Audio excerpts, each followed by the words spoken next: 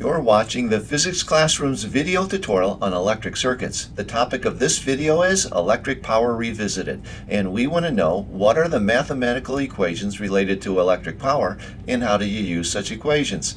I'm Mr. H. Let's get started. In a previous video, this one, I discussed the meaning of electric power. I've left a link to the video in the description section of this one if you need to review it. Electric power refers to the rate at which work is done by the battery upon the charge that moves through it, or the rate at which energy is delivered to the load, that is, to the light bulb or the heater or the motor. We can easily derive an equation for electric power from the mathematical definitions of power, electric potential difference, and current as shown here. I'm going to begin by taking this middle equation and writing an expression for delta E. That is delta E equal delta V times Q. And I'm going to take this expression for delta E and substitute it into the numerator of the first equation. When I do, that first equation becomes P equal delta V times Q all over T. Now I notice in this equation that there's a Q divided by a T. Q divided by T is simply current. So I'm going to take I, the current, and substitute it in for delta for Q over T into that first equation. The first equation becomes P equal delta V times I. This is the first of three equations that we'll be deriving in this video. The other two equations can be derived using this equation and the so-called Ohm's law equation. The equation you see on the top left is the equation I just derived for electric power. The middle equation, delta V equal I times R, is the so-called Ohm's law equation. It's the big equation in electric circuits. And the third equation is simply a rearrangement of the, of the second equation. I'm going to use these three equations to derive two more electric power equations. In my first derivation, I'm going to look at the middle equation and notice that delta V is equal to IR. So I'm going to take I times R and substitute it into the first equation for delta V. That first equation then becomes P equal I times R multiplied by I, which simplifies to P equal I squared times R. In my second derivation, I'm going to look at the third equation and notice that delta V divided by R, well, that's equal to I. So I'm going to take delta V divided by R and substitute it into the first equation for I. When I do, that first equation becomes P equal delta V times delta V over R, which simplifies to P equal delta V squared divided by R.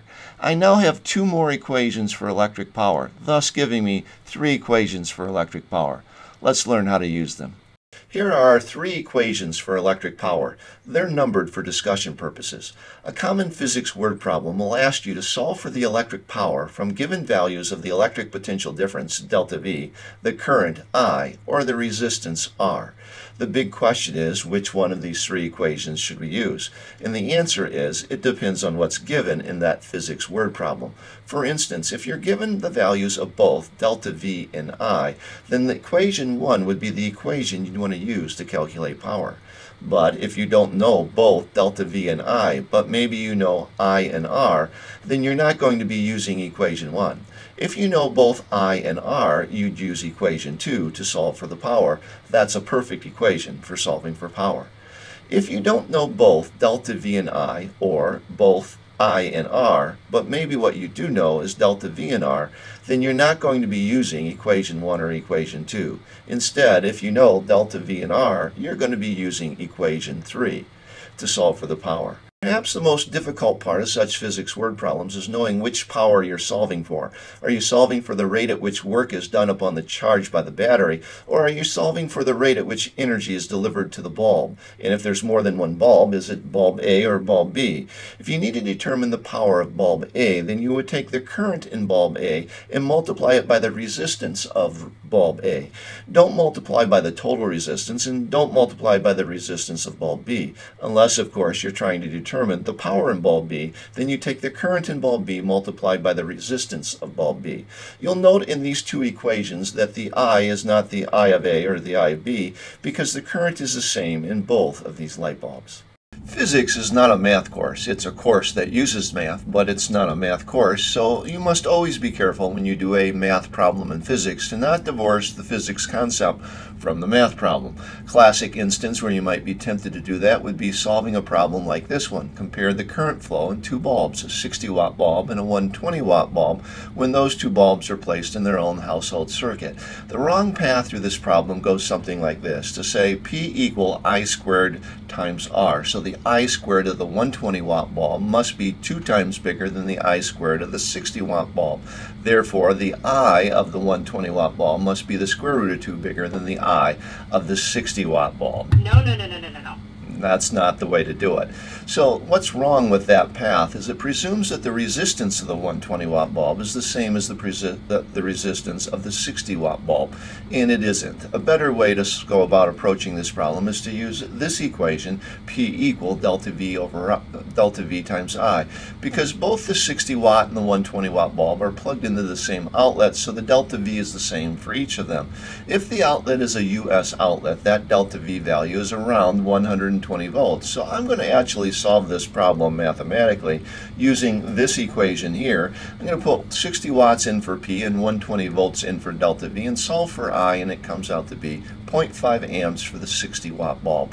If I repeat the process for the 120 watt bulb, put in 120 putting the 120 watts in for the P and the 120 volts in for the delta V, the I comes out to be 1.0 amps. So the conclusion to this question would be that the point that the 60 watt bulb draws one half the current as the 120 watt bulb.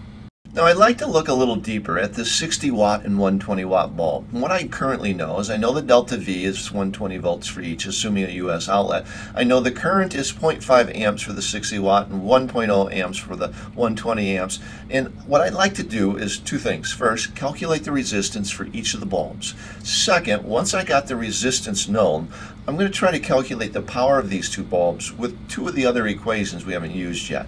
So let's get the resistance first. I know that delta V equal IR. So for the 60 watt bulb, I'm going to go R equal delta V over I. That's 120 watts divided by 0.5 amps, and that comes out to be 240 ohms for the 60 watt bulb. If I repeat the process for the 120 watt bulb, I'm going to say R equal delta V divided by I equal 120 divided by 1 amp, and that comes out to be 120 ohms. So the less powerful bulb, the 60 watt bulb, has twice as much resistance as the 120 watt bulb.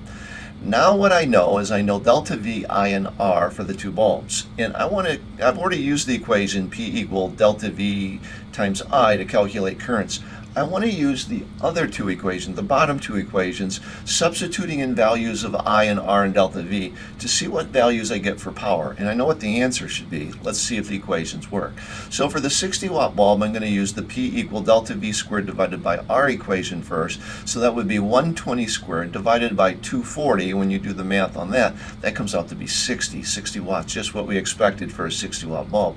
Now I'm going to use the other equation, P equal I squared times R. So I'm going to plug in 0.5 and square it. That comes to 0.25 multiplied by the R of 240. 0.25 times 240 is 60 watts again, just as I expected for a 60 watt bulb.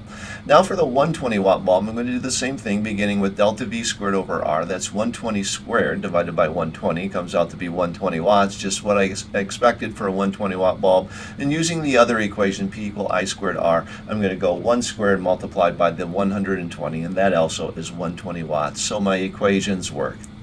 It's at this time in every video that I like to help you out with an action plan, a series of next steps for making the learning stick. But before I help you out, could you help us out by giving us a like, subscribing to the channel, or leaving a question or comment in the comments section below. Now for your action plan. Here are four resources that you'll find on our website, and I've left links to each of them in the description section of this video. You have a Minds on Physics mission, always great practice, good workout with reading and thinking. Concept Builder just may be one of your best things to do right now. If you need to do more algebraic problem solving, try the calculator pad where you'll find problems, answers, and audio guided solutions. Finally, we have a tutorial page that you can read whenever you need to brush up on the topic. Whatever you do, I wish you the best of luck. I'm Mr. H, and I thank you for watching.